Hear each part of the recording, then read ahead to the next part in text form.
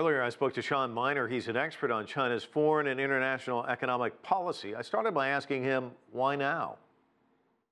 What's happening in China is that uh, one word is debt. So China has borrowed large amounts to finance breakneck economic growth. And now we're seeing uh, this debt level come to an even higher level. And uh, what's, what's happening is that the pace is very strong, very fast. And so I think what Moody's is seeing is that in order to continue growing at this fast pace, they're going to need to borrow at the same pace uh, that they have been, and that's unsustainable.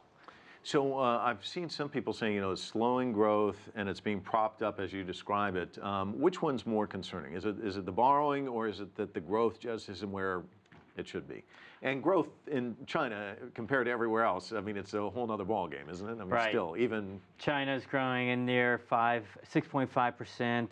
Uh, they have in their five-year plan that they would like to grow that pace until 2020. So I think that's where you're seeing the problem is that in order to make that goal, you're going to see increased debt uh, and increased uh, problems for the corporate sector. That's where we're really seeing the largest amounts of debt is the corporate debt uh, because what we have here is Chinese government actually doesn't have that much debt. I think it's around 40% of GDP, but because Chinese uh, companies, a lot of them, the state-owned enterprises, are connected to the government.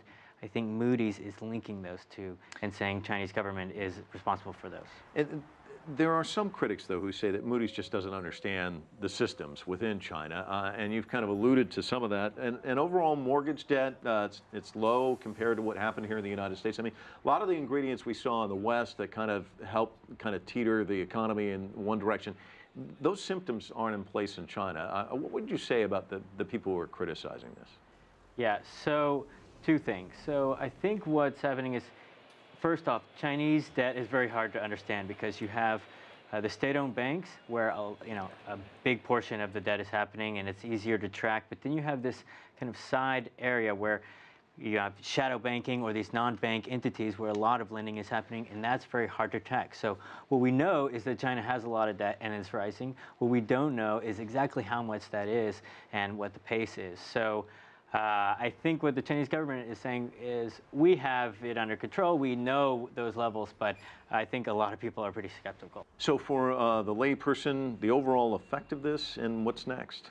So the overall effect, I, don't, I think, will be actually minimal. So foreigners only hold about 4% of Chinese uh, debt, Chinese government debt. And so uh, that part of the borrowing, I think offshore foreign currency of Chinese government debt will be more expensive. Um, you'll, it'll be less lucrative. But I think uh, domestically, it's going to have minimal impact and uh, may, may see some impact in the currency where the offshore markets have uh, see the currency uh, depreciate a bit. Sean Miner, thanks so much.